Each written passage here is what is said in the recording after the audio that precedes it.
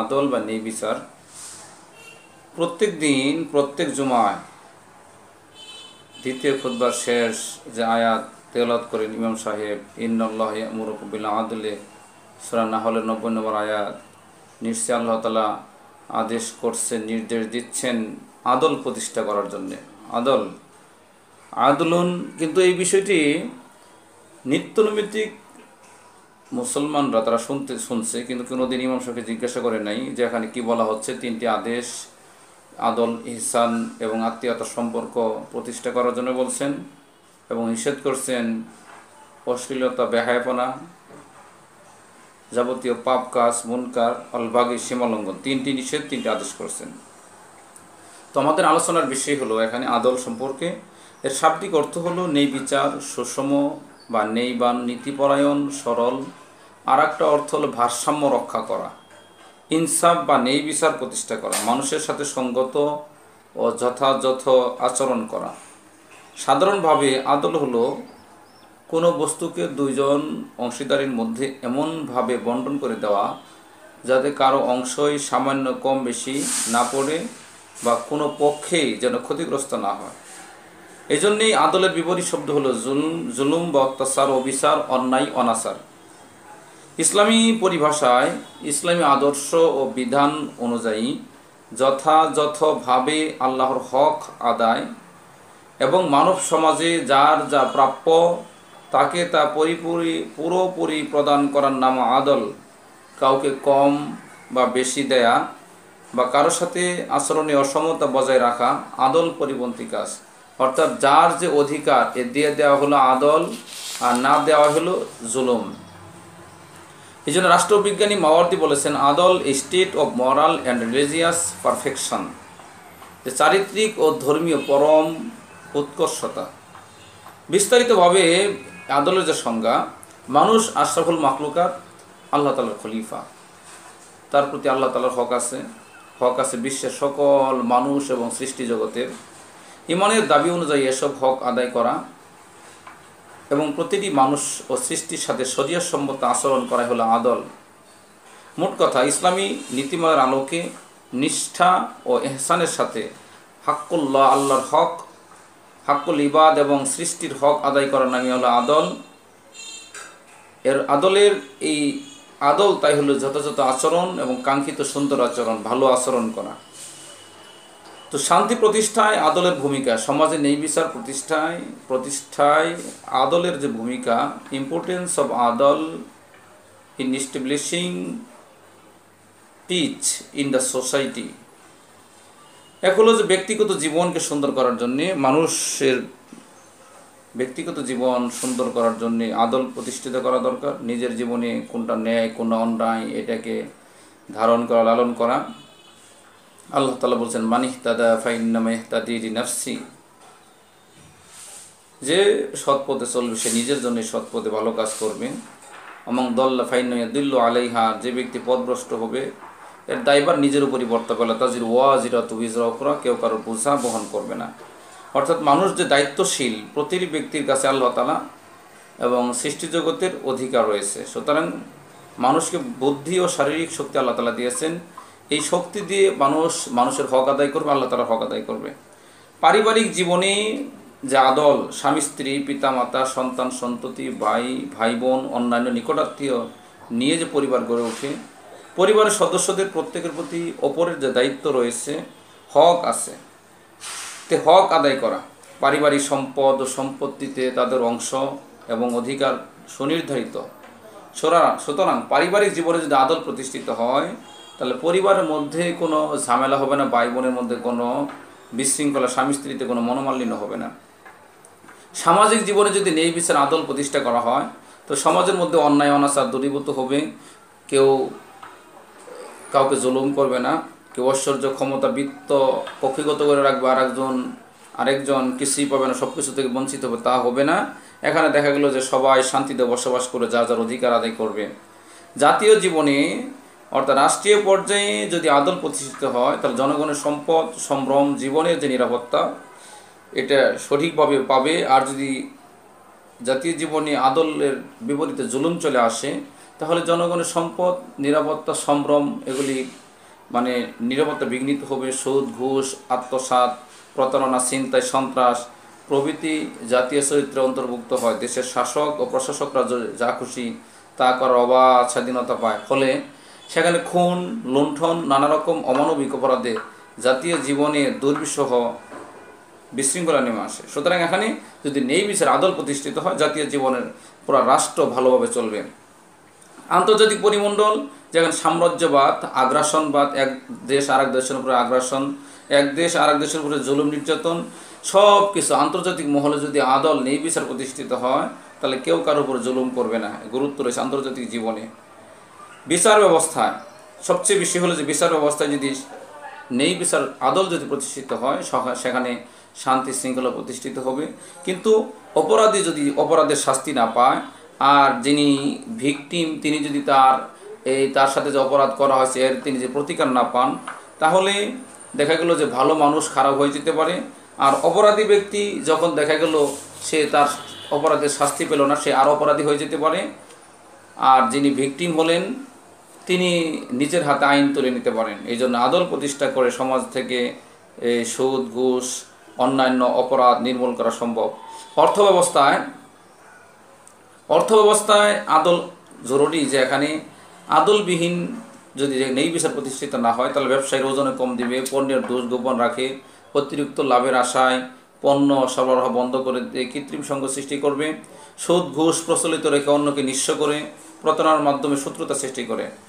আদল এই অরাজকতা অরাজকতা প্রতিরোধের কার্যকর উপায় আদলের অনুসরণ অনুসরণ থাকলে সমাজ থেকে অর্থ ব্যবস্থা থেকে পণ্য উৎপাদন, বিপণন, আর্থিক লেনদেনের কোনো পর্যায়ে এমন কিছু পরিস্থিতির উদ্ভব ঘটবে না, যাতে সংশ্লিষ্ট পক্ষগুলো বিবাদে জড়িয়ে জড়িয়ে পড়তে পারে জড়িত হতে পারে।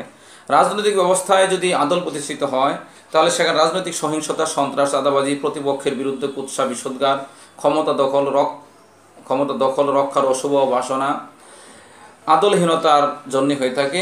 আদলের এই বিপর্যয় বিশৃঙ্খলার অব্যর্থ প্রতিষেধক আদল এ বিপর্যয় বিশৃঙ্খলা অব্যর্থ প্রতিষেধক ব্যক্তিগতভাবে রাজনৈতিক নেতা কর্মীদের মধ্যে আদল থাকলে তারা সন্ত্রাসী কর্মকাণ্ডে জড়িয়ে পড়বে না। ধর্মীয় জীবনে, যে ধর্ম পালন করা মানুষের ব্যক্তিগত স্বাধীনতা স্বাধীনতা মানুষের জন্মগত, যে কোনো ব্যক্তি তার ইচ্ছামতো ধর্ম পালন করতে পারবে। ইসলাম তা বাধা দেয় না।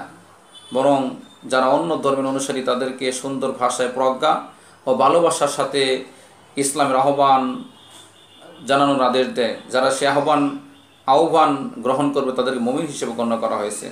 সুতরাং কেউ কারও উপরে ধর্ম চাপিয়ে দিবে না, কারও জোর জবরদস্তি করবে না। শিক্ষাক্ষেত্রে আদল প্রতিষ্ঠিত হলো যে পরীক্ষায় ছাত্ররা নকল করে পরীক্ষার যখন আদল প্রতিষ্ঠিত না হবে তো দেখা গেলো ছাত্ররা নকল করে পরীক্ষা পাশের চেষ্টা করবে। শিক্ষকদের মধ্যে আদল না থাকলে সে ক্লাস ফাঁকি দিবে। ক্লাসের পড়ানোর সে বাইরে পড়িয়ে টিউশনি করে পয়সা কামাই করাকে বেশি গুরুত্ব দিবে। সে যে বেতন নিচ্ছে, সেই একাডেমিক ক্লাসে সে গুরুত্ব দিবে না। সকালবেলায় অনেকে দেখা যায় যে যখন ক্লাস নিয়ে কলেজে বা প্রতিষ্ঠানে আসেন বা এ বাড়িতে কোচিং করান, তো ক্লাসে এসে তার সেই কর্মশক্তি হারিয়ে ফেলেন। কারণ সে সকালে সময় ব্যয় করছে, সে ক্লাস ফাঁকি দেয়। এভাবে শিক্ষক শিক্ষার্থীদের আদলের অভাবে অভাব শিক্ষাক্ষেত্রে অরাজকতা নামিয়ে আনবে। তাছাড়া ছাত্র ভর্তি, সে অনুসারে ফলাফল তৈরি আদলহীনতার কারণে হয়ে থাকে। যদি সেখানে মেধার মূল্যায়ন না থাকে, শিক্ষার্থী পড়াশোনা বাদ দিয়ে তখন কি করবে? ছাত্র রাজনীতির নামে নানা রকম সন্ত্রাসী কার্যকলাপ লিপ্ত হয়ে পড়বে। তাদের দাপটে পরীক্ষা, ক্লাস, পড়াশোনা দারুণভাবে ব্যাহত হবে। সাংস্কৃতিক জীবনে যে আদল অপসংস্কৃতি জাতীয় উন্নতিকে ব্যাহত করে। জাতীয় মূল্যবোধ ও নীতিবিরোধী সংস্কৃতির চর্চা নৈতিক অধপতন ও চারিত্রিক স্খলনের প্রধান কারণে পরিণত হয়। আদলহীনতা এক্ষেত্রে সংস্কৃতি কর্মীকে নীতিহীন করে তোলে। সে অর্থ পার্থিব কিছু লাভের বিনিময়ে নীতি বিধ্বংসী নানা রকম কাজ সে গ্রহণ করে। ফলে তরুণ সমাজ বিপদগামী হয়ে সামাজিক অশান্তি সৃষ্টিতে ভূমিকা পালন করে। এক্ষেত্রে আদল প্রতিষ্ঠিত হলে সাংস্কৃতিক চর্চা, বরং মানুষকে আদর্শে অটুট রাখার ক্ষেত্রে উৎসাহ এর মাধ্যমে মাধ্যম হিসেবে কাজ করে।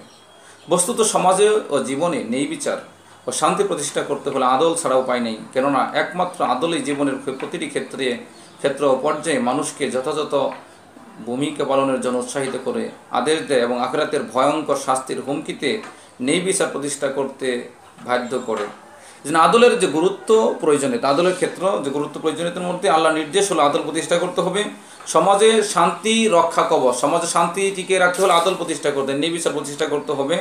সুশাসন প্রতিষ্ঠার জন্য আদল দরকার, শৃঙ্খলা প্রতিষ্ঠা করার জন্য অন্যায়, অত্যাচার, শোষণ, নির্যাতন, নিপীড়ন, চুরি, ছিনতাই, ডাকাতি, খুন, বেবিচার ইত্যাদি রোধ করার জন্য এই আদল প্রতিষ্ঠা করা দরকার। অধিকার প্রতিষ্ঠা, মানুষের যে মৌলিক অধিকার, অন্ন, বস্ত্র, বাসস্থান, চিকিৎসা, শিক্ষা, বিনোদন সহ নিরাপদে সম্মানের সাথে বসবাসের জন্য আদল প্রতিষ্ঠা করা দরকার, অধিকার প্রতিষ্ঠা।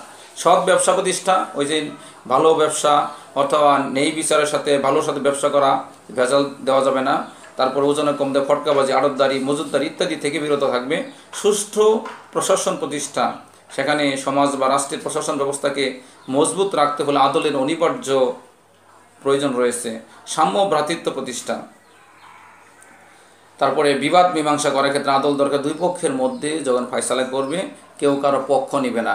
সঠিক বিচার সে করবে। আল্লাহ বলছেন ফাসলি হু বাইনা হুমা বেলা আদলে ওয়াকো সেতুইন হেব্বল মকো ওই যে হাকাম, তোমরা তাদের মাঝে নেই বিচার করবে, আদল প্রতিষ্ঠা করবে। আল্লাহ তালা নেই বিচারকারীকে পছন্দ করে নেই বিচার প্রতিষ্ঠা।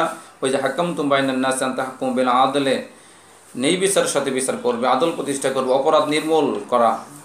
অবিচার, ভুল বিচার, শোষণ, অরাজকতা, বঞ্চনা, নির্যাতন, খারাপ পারিপার্শ্বিকতা তাকে আরও অপরাধী বানাবে।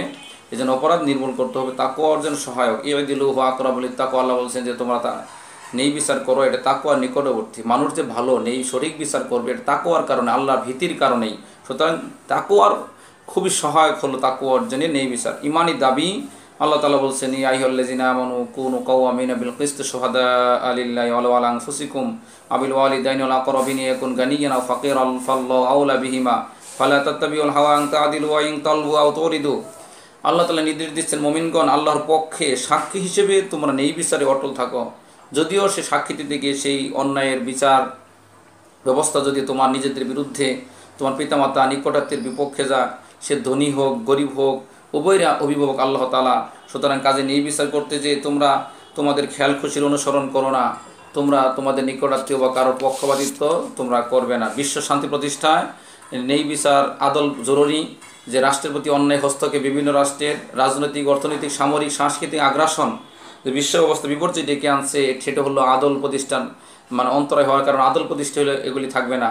আর্থিক শৃঙ্খলা প্রতিষ্ঠা আর্থিক শৃঙ্খলা যে ভুয়া বেচা কেনা ওজনে কম দেওয়া চিন্তা চাঁদাবাজি, আত্মসাৎ, সুদ, ঘুষ ইত্যাদি বন্ধ হবে। দণ্ডবিধি প্রয়োগ দণ্ডবিধি প্রয়োগ করার ক্ষেত্রে আল্লাহ তালা বলছেন আল্লাহ তা খুজ বিহিমা তা খুজুকুম বিহিমা রাফাতুম ফি দিন ইল্লাহিন কুমতুম তু মিনুনা বিল্লাহি আলিমুল আখির। আল্লাহ এবং পরকালে তোমরা যদি বিশ্বাস করে থাকো, তাহলে আল্লাহর বিধান এই দণ্ডবিধি কার্যকর করতে গিয়ে তোমাদের অন্তরে যাতে কোনো দয়ার উদ্রেক না হয়। চুরির শাস্তি, বেবিচারের শাস্তি, ডাকাতির শাস্তি এগুলি বাস্তবায়ন করতে গিয়ে তোমাদের অন্তরে অন্তরে যাতে কোনো দয়ার উদ্রেক না হয় আদলহীনতা ইমান ইসলামহীনতা যদি আদল না থাকে, তো সেখানে ইসলাম থাকবে না। সারা জুলুম নির্যাতন করবে, মর্যাদা আল্লাহ আল্লাহ তালা বসে ইন্নাল্লাহ হিব্বুল মোকসিতিন। যারা নেই বিচার করে, তাদের আল্লাহ ভালোবাসেন। রাসুল সাল্লাহ সাল্লাম বলছেন যে, কেয়ামতের দিন সাত শ্রেণির ব্যক্তি আরশে আসে আরশের ছায়ায় যারা স্থান পাবে, এর মধ্যে এক ব্যক্তি হল ইমামুন আদিলুন, যারা নেই বিচার করছে। সুতরাং পৃথিবীতে শান্তি লাভের জন্য যেমন, শান্তি লাভের জন্য যেমন তেমনি আখেরাতের মর্যাদা, পূর্ণ জীবন লাভের জন্য আদলের গুরুত্ব রয়েছে। এই এই আদল বাদ দিয়ে সুন্দর মানব সমাজ কল্পনা করা যায় না। তো সুপ্রিয় ছাত্রছাত্রীবৃন্দ, তোমাদের এই আলোচনা থেকে যে বিষয়ে আলোচনা করলাম, আদল আদল কাকে বলে? আদলের গুরুত্ব, তাৎপর্য এর ভূমিকা কি? মানব জীবনে ইসলামী সমাজে কীভাবে আদল শান্তি প্রতিষ্ঠা করে? আল্লাহ তালা আমাদের সবাইকে এরকম আমল করা তৌফিক দান করুক। সবাইকে ধন্যবাদ। আসসালামু আলাইকুম